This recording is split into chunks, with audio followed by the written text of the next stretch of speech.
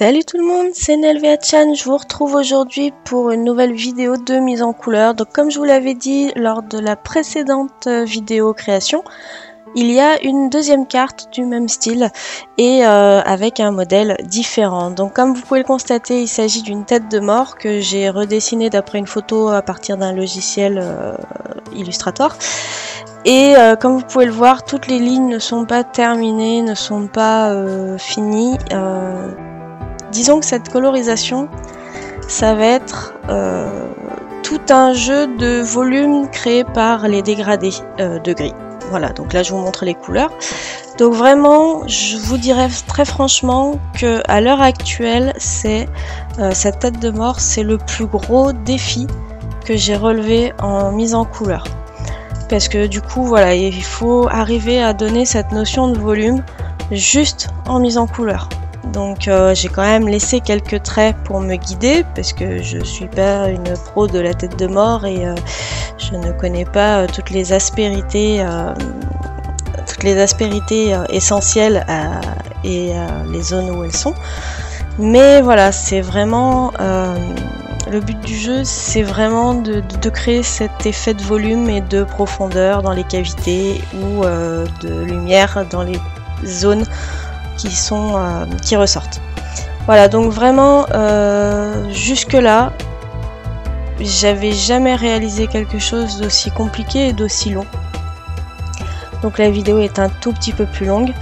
Euh, j'ai dessiné la tête de mort avec la silhouette, donc j'ai utilisé le porte-stylo et un stylo Faber-Castell pointe fine.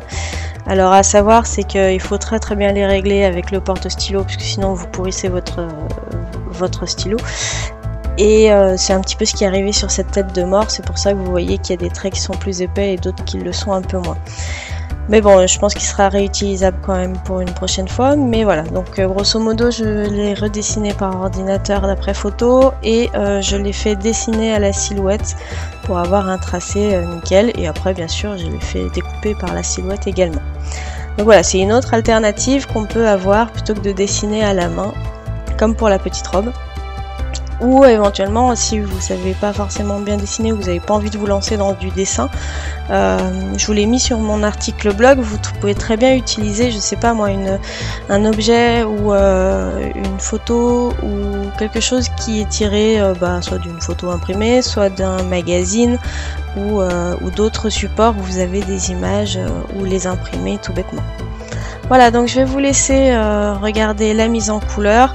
Donc euh, bah, donnez-moi votre avis. Euh, bon, j'ai quelques petits cacades au niveau de la tempe parce que mon stylo avait un petit peu bavé, il n'était pas tout à fait sec et en plus parce que j'ai tellement tellement mis d'encre, enfin d'encre de feutre que du coup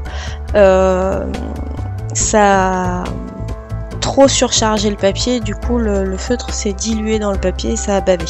Oui d'ailleurs une chose avant de vous laisser que je voulais vous dire, euh, quand on fait une, mise en couleur comme ça qui nécessite beaucoup de teintes différentes et donc euh, beaucoup de d'encre sur le papier.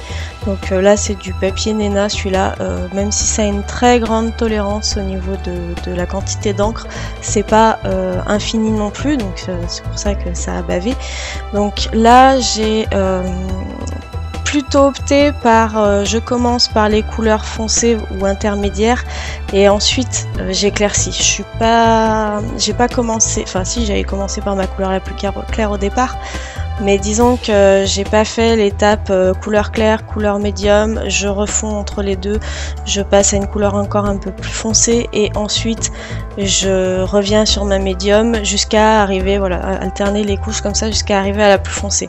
Non, là il a vraiment fallu que je je parte directement soit de la couleur la plus foncée pour arriver jusqu'à la plus claire, soit de la couleur médium s'il n'y a pas trop de foncé pour arriver toujours à la plus claire. Mais en aucun cas il fallait que je superpose euh, autant de couches de couleurs et donc je m'en suis rendu compte euh, avec euh, la tempe.